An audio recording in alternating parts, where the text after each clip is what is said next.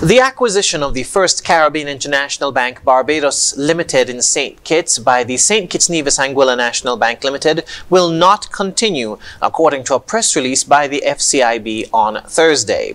According to the release, the SKNANB recently informed FCIB Barbados that it has not secured final approval from the ECCB to conclude. End quote. The SKNANB announced its intention of the acquisition in 2022.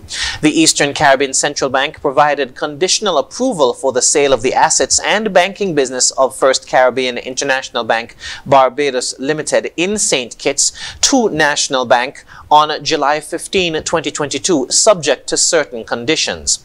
The FCIB's release said that the ECCB continues to engage them despite the disapproval of the sale.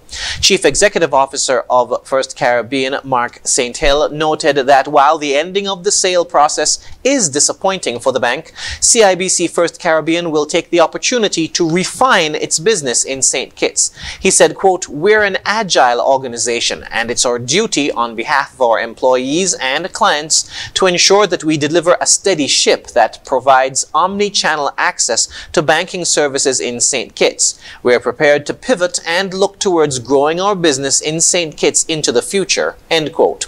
Meanwhile, Managing Director for the bank in Barbados and the OECS countries, Donna Wellington, noted that the bank will take the opportunity to transform its business in St. Kitts. She said, quote, our priority is to signal to the market that we're staying and open for business. We have been conservative in the St. Kitts market over the past year and a half as we prepared the business for sale.